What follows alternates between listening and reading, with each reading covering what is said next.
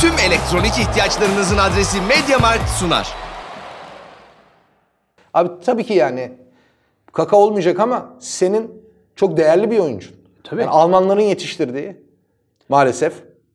İtalyanların biçimlendirdiği bir oyuncu. Ama hep büyük takımlarda oynadı. Şimdi şunu unutmamak lazım. Ya Hamburg'un son yıldızıydı. Hamburg en son iyi takımken Hakan'la son oynarken işte. Öyle değil mi? Evet, Hakan Çağlanoğlu ile alakalı şunu da söyleyelim. Leverkusen bayağı iyiydi o zaman yani Roger Schmidt dönemi. Roger Schmidt döneminde Hakan Çağlanoğlu Ve o zaman niye milli takımda oradaki gibi oynayamıyordu Evet. tartışması vardı. sadece 4-2-3-1'in şeyi değildi o. Ee, Tabii, buradaki tabii. oyuncusu değildi. Tabii, tabii. Roger Schmidt'le beraber o kadar şekillendi ki oyuncu. 4-2-2-2 oynadıkları için evet. Burada da oynadı. Çok oynadı. Hakan Aynen. Çağlanoğlu 6 numarada oynattı Ro- Roger Schmidt. Yani Ama çoğunlukla burada oynadı. Evet, çoğunlukla burada oynattı. Hep o şekle soku- sokulabilmiş bir oyuncuydu. 60 olduğu gol, 60 olduğu golden sonra Hasan Şaş, yarım Hasan Şaş şeyi, e, gol triplemesi diyelim biz ona. E, ama ve lakin e, şunu da unutmamak gerekiyor. Bu çocuğun bu vuruşların ceza sahası dışından yapabildiği kadar. E, biz bu hafta Eleme Ekspresi özel çekeceğiz Norveç maçından sonra. Fiorentina attığı golü falan Türkiye'deki benim diyen oyuncu Kesinlikle katılıyorum sana. çok zor atar. Lütfen şimdi bunu hiç unutmamamız Muazzam bir gerekiyor. şutör. Muazzam. Muazzam, inanılmaz. Long shot 20 üzerine 19. Evet. Orta menzilli, orta metrajlı şut 20 üzerinden 20'ye 20, yakın. evet. Gerçekten de. Yani mü- müthiş bir oyuncu. Oyun aklı çok yüksek ve oyun aklının yüksek olduğunu şöyle e, düşüneceğiz şimdi. E, bizim attığımız iki gol. İk- ikinci gol tam geçiş oyunundan gelmedi. Sonra tekrar sete döndükten sonra attık golü. Ama ve lakin ilkinde Kenan Karaman'ın topu çıkarttıktan sonra Hakan Çağlanoğlu ile başlayan hücumumuz. Hakan Çağlanoğlu oraya giderken bakın önde kimler gitti buraya? İki savunucuyu meşgul etmeye. Yusuf Yazıcı, Ozan Tufan ve buradan derinden oyunu okuyarak gelen Burak Yılmaz. Burak Yılmaz. Bir de şu da var. Burak'ı buraya koşturmanın manası yok. Evet. Şenol Hoca bunu hepimizden iyi biliyor. Neden? Acele ediyor, offside'a düşüyor. Offside'a düş. İki, Burak 35 yaşında. Evet.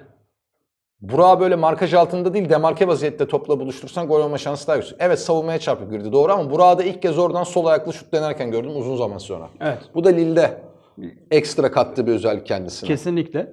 E, ikinci Bu golü Lille'de de böyle oynuyor. Ya Yusuf Yazıcı ile oynuyor ya Jonathan Ikone ile oynuyor, oynuyor. veya e, David ile oynuyor. David Dön, Jonathan, Jonathan David, David ile oynuyor. Zaten Jonathan David hani gol attırmak için uğraşıyordu ya Burak. Geldi çok paraya ama dağıtamadı çocuk. Aslında bak o pozisyonda da öyleydi.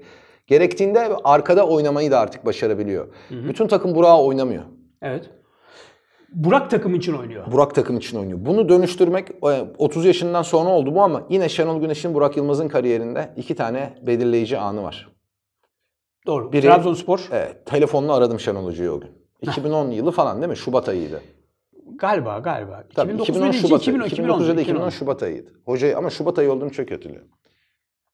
Burak'ı ben yakından takip ediyorum tabii. Çünkü Jean Tigana gelmiş ta Fransa'dan. Türkiye'deki genç bir oyuncu için bu süper diyor. Türk futbolunun geleceği olacak diyor. Ama kendi dahil birçok teknik direktör ona takım içinde yer bulamadı. Burak'ın da hataları vardı. Muhakkak. Yani Beşiktaş'ta, Fenerbahçe'de de forma sadece verilmez. Forma alınır da. Bu daha çok sağ kanatta denendi. O da bir gerçek. Yani 4-3-3'ün, 4-2-3-1'in sağ ön oyuncusu gibi. Daha çok çizgiyi kullanması istendi. Şenol Hoca gelir gelmez onu Umut Bulut'la dönüştürerek sürekli içeri doğru yani santraforlaştırdı. onu. Onun Evet. ideal mevkisinin santrafor olduğunu. O gün telefon açtığım zaman ben Burak'ın gerçekten Beşiktaş'ta niye kalıcı olamadığına çok şaşırmıştım. Ama Fenerbahçe'de niye oynayamadığına hiç şaşırmamıştım. Beşiktaş'tan ayrılırken de niye ayrılması gerektiğine de artık Fenerbahçe'deki performansı nedeniyle yine şaşırmamıştım. Ama Şenol Hoca'nın o yaptığı kafa ayarı çok acayip bir şey.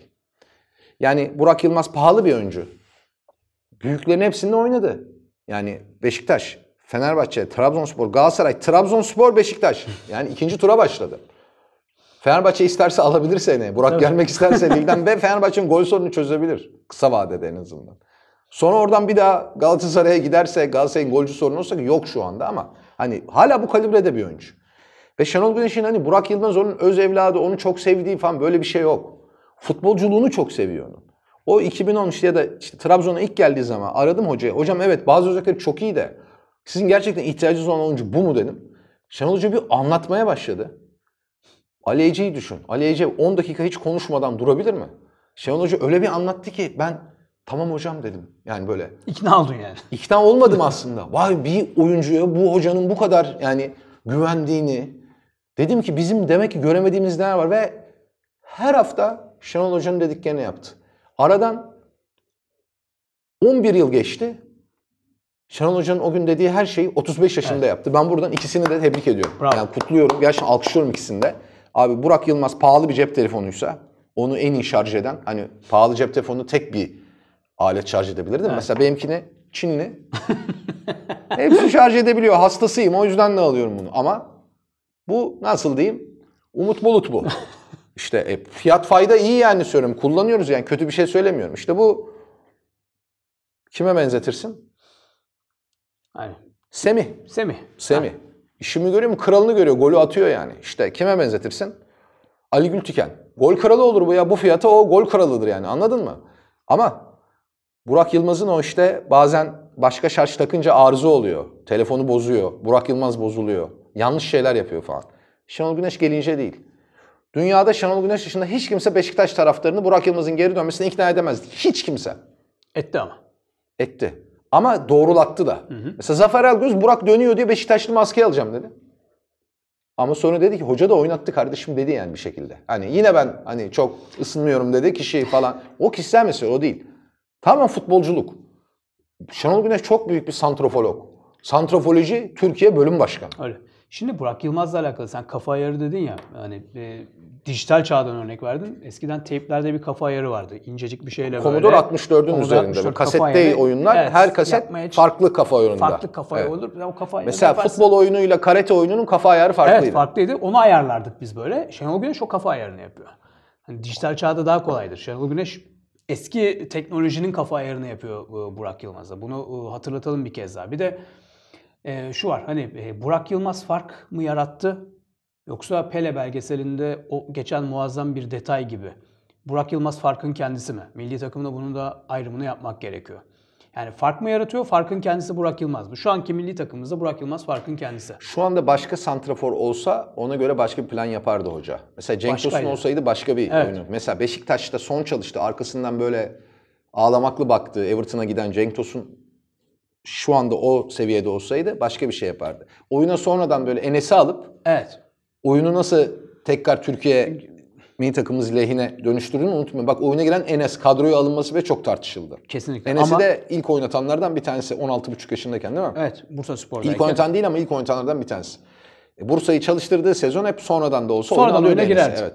Yani 60 olduğu free kick falan Burak Yılmaz'ın. Ben Fatih Demirkol'la konuşurken, Fenerbahçe'de çalışırken Fatih Demirkol onu anlatırdı bana hep. Yani Burak Yılmaz sürekli her antrenman bitiminde kaleye kaleciyi koyup ya canlı manken, yani manken veyahut da canlı barajla serbest vuruş kullanırdı ve onda 9 isabet oranı vardı. Ben de maçlarda niçin atamıyor diye şaşırırdım derdi.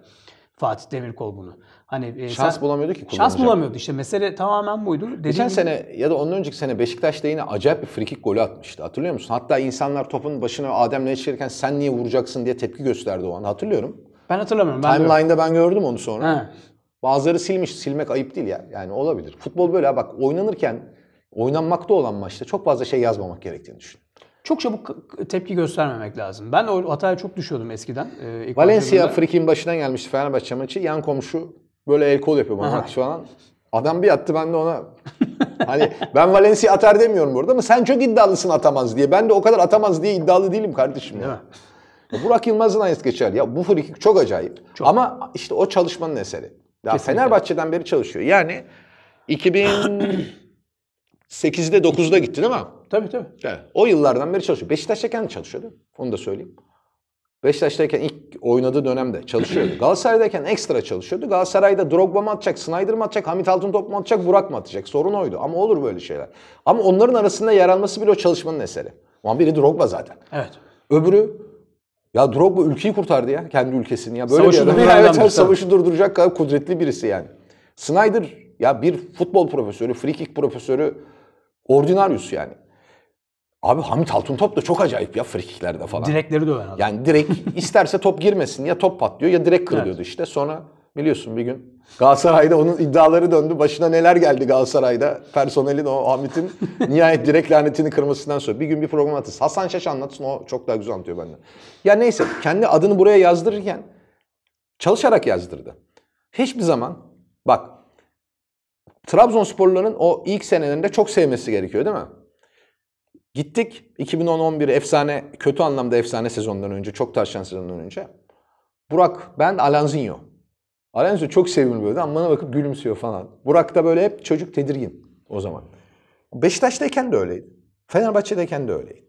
Bir türlü böyle tam sağlıklı iletişim kuramıyor. Ya da iletişimde böyle hep bir şey oluyor. Bir çekincesi var. Dili dili çok yanlış. Hatta ben hatırlıyorum Beşiktaş'tan giderken Koray'a karşı mı gitmişti yoksa Koray'la beraber mi takas edilmişti? Bir şey olmuştu. Holosko alınırken değil mi? Holosko alınırken. Koray artı Koray artı e, Burak Yılmaz Alan artı dünyanın parası. Sonra dünyanın da parası. Holosko artı bir miktar para esprileri olmuştu Leyla ile Mecnun. Tekrar başlıyormuş sanırım eksen kanalında. Aynı ekip mi? başlıyor? Aynı ekip bir Ha, de efsane tamam, ekip başlıyormuş. Şimdi şu e, hadise Burak o zaman bir röportaj vermişti. Darsu giderken bir demeç olur ya böyle satır aralarında kalır ama satır arası benim daha çok e, dikkat e, alanımdır yani merak alanımdır. E, adım Burak değil de Burakinho olsaydı takımda kalırdım demişti mesela. Şimdi bak bu kafada olduğun zaman sıkıntı büyük. Daha yeni Mesut Özil polemiği. Evet. Yani ne gerek var? Oradaki de nasıldı biliyor musun? Birebir sohbette orada belli o abi aşırı aşırı bir, bir Trabzonspor seven. Bu arada bu part bitti ama daha henüz konuşulacak çok şey var. Abone olmayı unutmayın, yorum yapmayı unutmayın. Tüm elektronik ihtiyaçlarınızın adresi MediaMarkt sundu.